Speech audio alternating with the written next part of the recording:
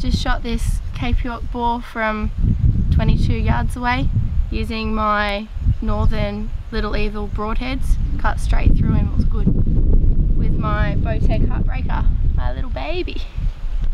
Good one.